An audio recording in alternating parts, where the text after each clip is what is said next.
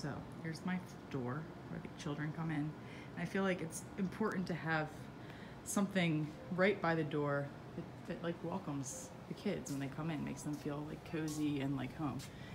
So let's just take a peek out here real quick so you can see.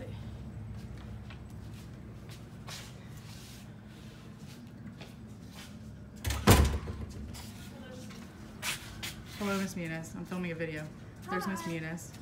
She's my pal. Hey, you ready for vacation? I'm ready for vacation, but not yet. I'm killing ants. Well, you go get them. I'm being successful. Have a lovely day, Miss will win the war. You will win the war.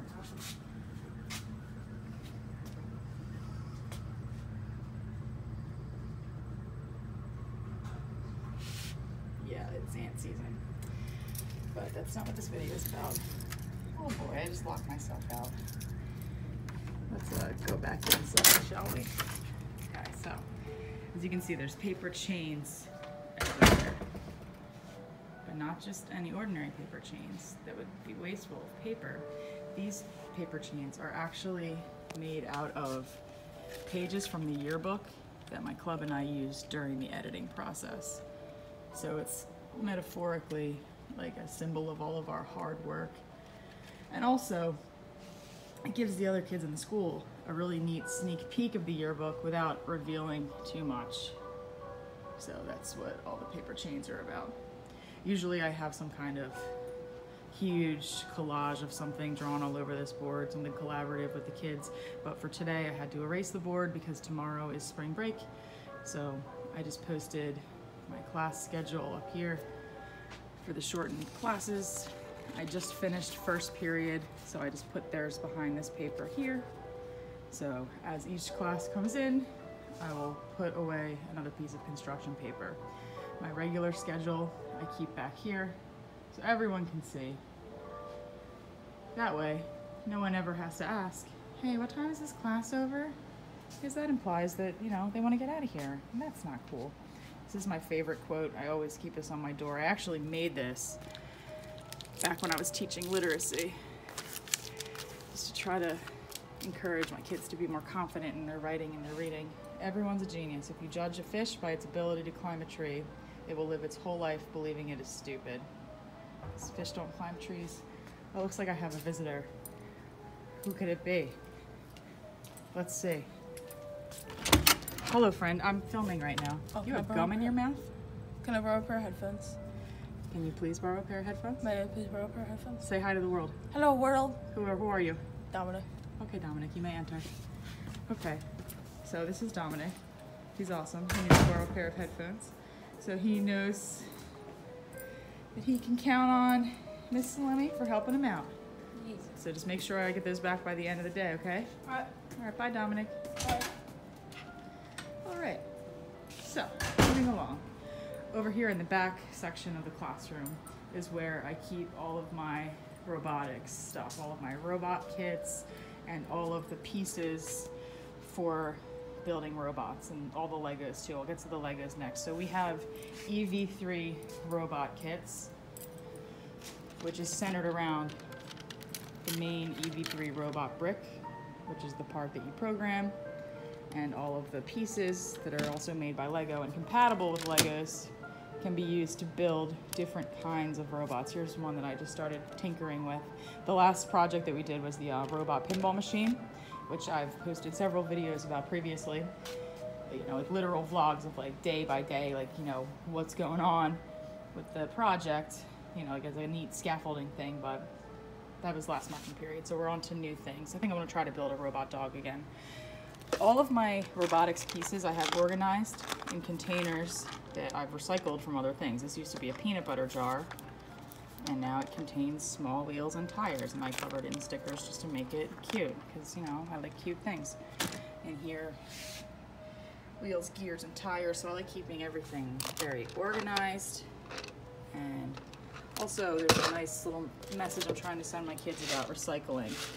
Rather than creating more plastic waste, we're reusing these awesome containers as um, places to organize all of our pieces. You may also notice, or if you have EV3 kits in your classroom, you probably don't you know, have things organized like this. You might, you know, just keep all of the pieces per individual kit in the kits so that the kids have X number of this kind of piece, X number of that kind of piece.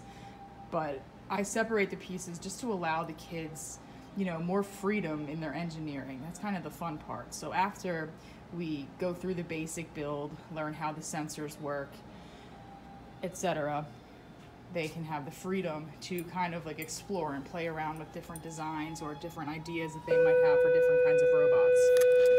Here's my small axles. This used to be a ring box, a jewelry box. Jewelry boxes are great for like recycling if you need like a little box to store little pieces. These are great. There's another jewelry box. And everything is labeled so you know where everything is. Oh, I need a beige connector peg. It's in this box. These are great too. These little um, cottage cheese containers with the lids. These are perfect for all these little kinds of pieces. Now over here, I have my Legos, which we just started reorganizing again after the pinball machine project. So first we organized them by color, and then by size, and then we're able to start designing new ideas for you know different kinds of robots because all of the Legos are compatible with the EV3 robotics kits. I also have memes all over my room because memes are fun and my children love making memes. And it, I don't know, it's a very effective use of signage because it gets your attention and it's kind of funny. This one I made for myself. Chris Farley. Does my camera have an SD card in it? Yeah, that's for me because I forgot to put an SD card in my camera one time when I was supposed to take a picture of the whole faculty and I had to run back down here. Long story short, I didn't make that mistake again. Here's some more memes that I made with my uh, sixth graders during our online safety unit. So it kind of gets the message across in a way that, you know, our friends from Generation Z can actually understand. Now, this section of the room by the windowsill usually looks a lot more bright and colorful and fun. It kind of looks like it does on the last day of school right now. And that's because of that. It's springtime, it's nature, but I just didn't want them, didn't want the ants getting in all my stuff.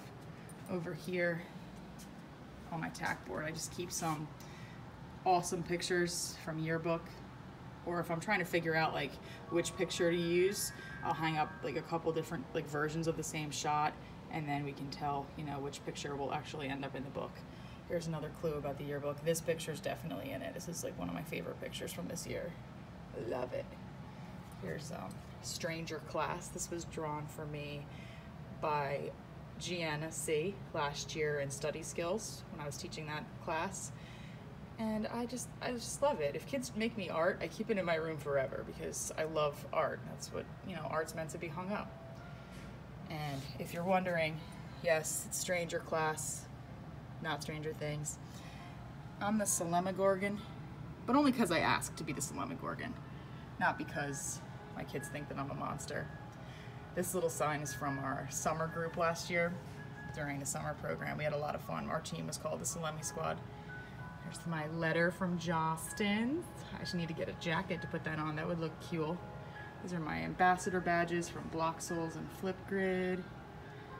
Uh, my teacher laptop. It seems really random for my laptop to be just like in this corner on top of a bookshelf, but there's a good reason for it. And that reason is that this is actually where my HDMI connection is that allows me to connect my computer to the projector. Okay, let's moving on with the tour. Oh, also, there's there's they're not Christmas lights. I would like to say that they are decorative classroom lights. There was someone I can't forget who it was who came in here one time. I think it was a sub or something. He's like, "Oh, it's Mrs. Christmas." I'm like, "What? Like, am I? Do I look like Mrs. Claus right now?" But no, okay, because he was referring to my lights. Like, I don't know. It doesn't make me think of Christmas. It just I don't know creates a nice kind of lighting concept for the room because I don't really like fluorescent light. So kind of brightens things up a little bit, gives it kind of like a nice, you know, festive glow. This is an important poster I have about bullying. I think it has a really important message. But it was getting kind of old. Like I've had this poster since I taught first grade, you know, before I even worked with penguins, which I also do in addition to teaching. But I added a little thing to spice it up, a little Der Burger, just to, I don't know, make it more fun. This is a poster I made for my seventh grade technology class. Seventh grade tech, we do a unit on invention, and the kids are required to come up with their own ideas for an innovation that they would like to make for their project. But the first few semesters I did this project, you know, everybody's topic was almost the same. It was a robot that does this, a robot that does that. And I was just trying to show them that innovation is not just robots and smartphones. See, it could even be eyebrow innovations, feather eyebrow, Christmas tree eyebrow, whatever the shoe eyebrow is. So just just a fun little thing um, that I uh, use to encourage my kids to come up with more creative innovations. These are my CS First certificates awarded to my 21st tech class who completed their Google CS First units. Over here I have some more memes that are made by kids about online safety when you find out you've been hacked. Over here, this is an ancient meme. A lot of people don't know this, but memes were actually invented in the early 1800s. Like as soon as they invented cameras, people started using their cameras to take silly pictures of cats. True story. I could probably do a whole video on that. Well, definitely. Yeah, when you forgot your password again. These are great, and you know, my kids make me art, and a lot of it I'll, I'll keep up all year just to, you know, if I do a similar kind of lesson later in the year, I already have exemplars that are posted rather than, you know, creating all of the examples myself. You know, they really connect a lot better when the exemplars are from actual other students. This is an electronic hole puncher. It's fun.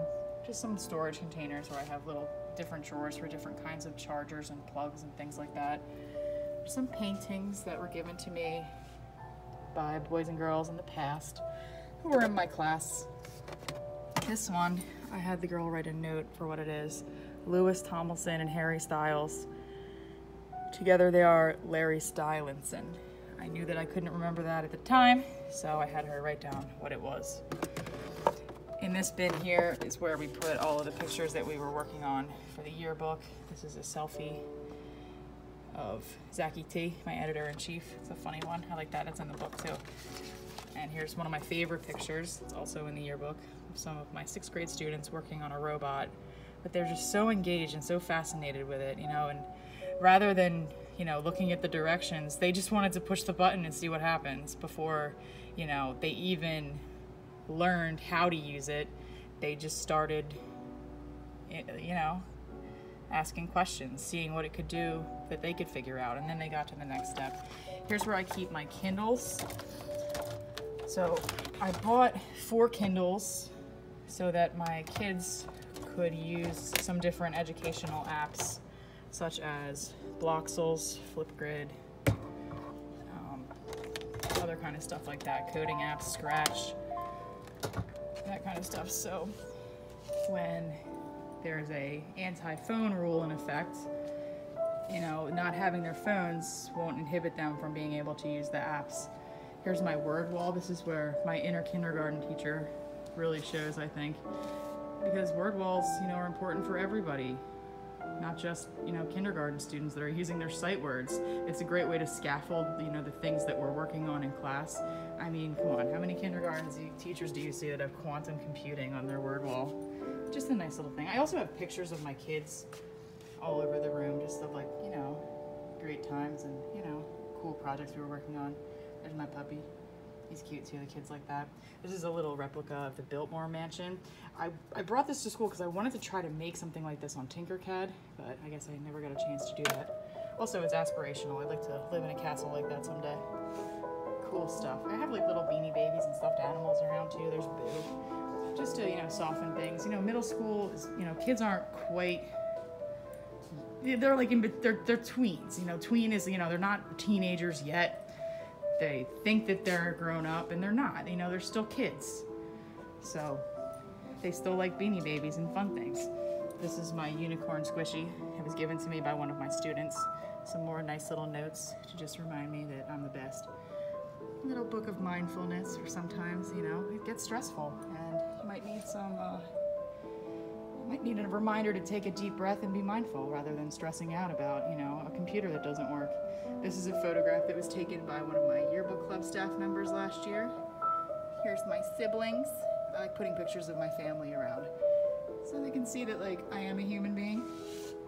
Here's a picture from Flipgrid Live last year when I traveled to Minneapolis to visit Flipgrid HQ and attend their Microsoft EDU presentation. It was a lot of fun. And, you know, whenever kids see this, they're like, wow, it looks like a nightclub. It's like, it does. I was, you know, fascinated with this awesome office. It was phenomenal. Over here, I have Asimov's Three Laws of Robotics, which is how I start teaching any kind of robotics unit, which is like philosophically, like, you know, important things to know if you're thinking about building a robot. Here's some more pictures, like from my personal life, to show the kids that, you know, I'm a human being and not only that, but I work at an aquarium, so I am a part time animal keeper. That's me with my friend Wally the sloth. There's some of my penguin friends. Here's some more of my penguin friends, and little Zuri photobombing me because she loves to follow me around. And here's me with Munch the baby alligator because I'm also an alligator handler. So if there's ever an alligator situation in the school, I can handle it. These are just more pictures that my kids drew me. I just, I, I love their art. I love hanging it up. Here's a Savage Potato. Savage Potato was um, something that we did last year. With I did I did something like that last. Okay, Savage Potato was from last year. It was a group of seventh graders that I was building video games with, and that was kind of like the name of their team. It was Savage Potato, so it was like names of usernames things like that. It was easy. Here's my seven step problem solving model. I always like to have this up in the classroom whenever someone asks, like, oh, when are you going to be finished building that robot? It's like, well, if I'm not following directions and I'm winging it, I'm going to be using this as my directions, the seven step problem solving model, just like we talked about in the pinball machine episodes. Because sometimes, you know, it falls apart and then you have to start all the way back at the beginning. Over here, I have another one of my favorite quotes Innovation distinguishes between a leader and a follower, Steve Jobs. Here's my smirt turtle. I drew a picture for a sixth grader, Gooner. It's not his real name, it's a nickname, Gunner. And his real name is Gunner, I should say. I, he asked me to call him Gooner on the first day of school, so that's why I called him. Looks like there's somebody at my door. Who could it be? Let's go find out. I might have to hit stop depending on who it is. Oh, it looks like it's children. Okay, let's see what they want. Hello, ladies. I'm filming right now before you Oh. say anything, so hello. We just need key 128. You need a key for room 128? Yeah. Say hi. Hi. Okay, you may enter. Okay. Is it okay if this? um, this video is used on YouTube? Because I know that you guys are in it. I just Yeah, don't want I'm any fine. surprises. Okay, cool. So the key for room 128 is located over here. See my tack board where the pictures of the play are? Hanging right on there. Okay, there you go. Thank You're welcome. Which teacher sent you? Miss Muniz. Okay, that's what I thought. Bye, ladies. Bye. Bye. All right, so that happens periodically throughout the day. Because I'm the computer lab teacher, I have keys to like all kinds of different computer labs. So if someone's trying to print something next door, they need to come get the key. You know what, let's unlock the door so when they come back, we won't have to stop again and get distracted. So I keep a magnet here to put inside the door just so the door can stay locked at all times. So if there's ever a situation where we just have to spontaneously lock down, I could I don't have to go in the hallway. I can just open the door, pop that on, and the area is secure. This was these words were from a Flipgrid that we did earlier in the year. Hashtag one word 2019. Just like one word that you know is your inspiration for this year. There's a bunch of different examples here. It's a good reminder to be awesome, because everybody's awesome in here. This is just a bulletin board. I have some shortcuts for my class and some pixel art that we made with Bloxels. And some more online safety memes. This one I think is one of my favorite things I've made in the past, in the past few years. There, these are actual safety tips from Roblox, which is like a game that the kids play. Hang on. Hello. Thank you very much, ladies.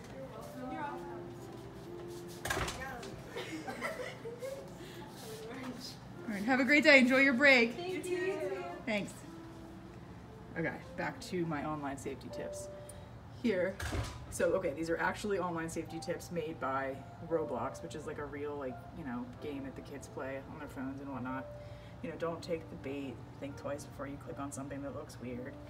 Let me skip over number two for now. Take the high road. Never underestimate the power of kindness. It feels good to be nice. A rule of thumb is to treat others how you want to be treated. You know, be nice to people online. Use your voice. You know, speak up if something weird happens online. Let's look closely at tip number two. Listen to Miss Salemi. Just because something looks real doesn't always mean it is. Not everything you read on the internet is true, and you can create pretty much anything with Photoshop. So you see what I did there? There's my YouTube channel, my website, QLmath.com. That's where I publish the games that my students and I make with Bloxels. They're just some more little memes I made for online safety. This is all the actual terms of service for different popular apps. That's something that we talk about a lot in my unit on digital citizenship and online safety. Just a reminder not to be a bully. Never be reminded of that enough. Now here's my last row where I put some of our Lego models. I had to move these. These were over by the windowsill. But as I discussed previously, they had to be moved, so I just moved them over here. These are my photos of my yearbook club. Every year at the end of the year, as soon as I finish the yearbook with my club, I give I, I, I throw a huge pizza party. Everybody's invited. I order a ton of pizza and we just celebrate all of our hard work.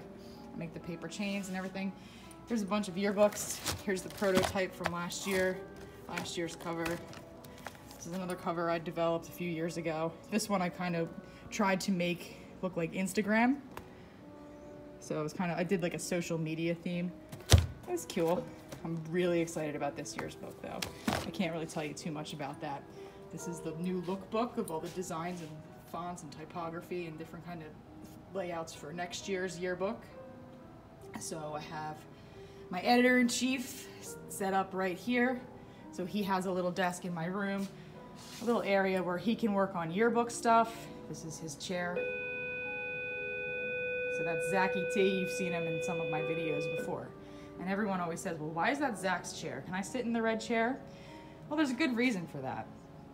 Once upon a time, I got an email, and the email said, hey, we're getting rid of office chairs. First come, first serve.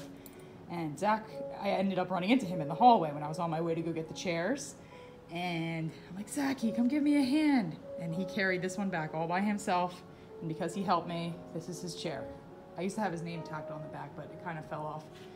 I need to like embroider that if I really wanted it to stay. Here's just a dog on a computer. So that's cool. Here, I like to keep a calendar just so, you know, the kids can see, they can visualize like, okay, if it's the end of marking period three, I'm like, okay, well here's today and here's where you go to your next class. And then we have spring break. So here's today, we have a half day. And I'll also write like important things on here. Even if I have a meeting, I'll put it on here. Just so they know that they can't stay after school that day because everybody wants to stay after school to work on fun stuff. Here's where I have my Raspberry Pi set up. Now this is becoming a very popular center. So this little microcomputer is the, called the Raspberry Pi. So you just plug it in to turn it on right there. There's the power and then it boots up and then the kids see this part and they're like, oh my gosh, hacking. And they just see the script running on the screen. I'm like, no, it's not hacking. That's, you know, just lines, oh, here it is. It's just lines of code, you know, telling the computer what to do as it warms up. But, you know, that's what we're here for, to learn. That's what school is for. So I gotta boot this up to get ready for my next class. So I have to turn the mouse on. Just have a wireless mouse and keyboard set up with it right now and a basic OS installed so that we can do things like Scratch and other programming languages to develop our programs and software. And there's also a really old version of Minecraft on here that's kind of fun, so I have some kids making houses and things.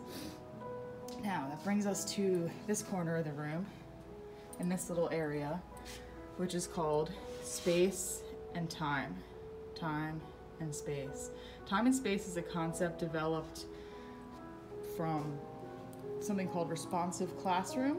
And the idea of space and time is to create an area in your classroom that's kind of like the chill spot. If a kid is stressed out and can't even even, they know that they have a safe place where they can just sit and think or draw or reflect before, you know, they're able to focus again on what they're trying to focus on. Now, this area has been evolving throughout the school year.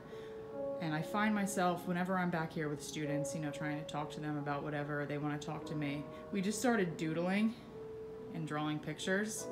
So, you know, they know that I love art and they know that, you know, if they give me a piece of art, I'll probably have it hanging in my classroom forever. But also, it's fun to draw and it makes you, you know, feel better and it, it gets your head out off of the stress in your life. That's something that I like to do a lot too. If I'm stressed out, you know, I can take a little brain break too. So that's something that I learned this year and it's helped me a lot with, you know, managing stress and whatnot. This is a Pikachu SpongeBob that was created by Hosh from my seventh grade class. And he made a stop motion animation as like a genius hour project. And I'm like, oh, I kind of like that. I'm gonna draw that picture. So I'm gonna surprise him today with this drawing if I have enough time. Or he'll just see that I started working on it and he'll be excited and I'll finish it later. Now, over here on my bookshelf, now it started off as just a regular plain metal bookshelf, but I don't know, it looks kind of boring and sad and cold and you know. So I started hanging up the pictures that I drew on the bookshelf to try to, you know, make it look a little cozier. So as I started drawing pictures, I started drawing a bunch of pictures of The Simpsons and then, you know, branched out from there with anime characters. I don't even know this dude's name. A kid asked me to draw him for her, so I did this guy too. And here's a Kermungus. Kermungus was an invention, well, not a literal invention project, but it was a genius hour project during my seventh grade innovation class. I noticed there were some boys who were creating a Google Slides document that they all shared with each other where they were just posting Kermit memes. And one of them had a Kermit and something that's called Big Chungus, which is a meme that the kids are all obsessed with right now. And Big Chungus is basically just like a really fat Bugs Bunny. So I asked them, has anyone ever made a Kermit Chermungus, a Kermungus? And then I did a little impromptu Photoshop lesson, uh, excuse me, a little impromptu Photoshop lesson and created this beautiful creature you see here. I drew this guy yesterday, this Kermit sipping my tea. I was trying to tell them, you know, you know, kids are always dealing with all kinds of drama, and I said sometimes you just got to sit back and sip your tea. Don't add to the drama. Let's see, we saw these guys. We have some more on this shelf down here. I have a few Furbies. And what's funny about the Furbies is that kids see these and like automatically freak out. And I'm like, okay, well, I'm a 90s kid. Like, how do you know what this is? They know what it is. But then they're very relieved to see that these are beanie Furbies and they're not really um, robots. Although I'd love to turn this into a robot someday, I think, but probably not because I can see that the kids are already, already kind of nervous about Furbies, which I think is kind of funny. I have a bunch of books because I love books. I love to read. I'm a writer. I love books.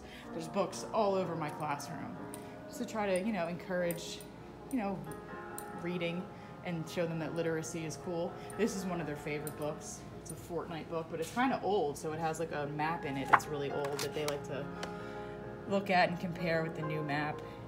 And you know, it brings them together. It's something that they all have in common, brings them together. And this book was actually from the book fair, so that's how you know it's legit. This one was from this year's book fair, so even they like to look through and compare the map and you know see what the author says his you know tips are. Here's another one from my favorite scientist, Neil deGrasse Tyson. Shout, shout out Neil deGrasse. I hope someday you comment on my videos or tweet me. That would be so cool.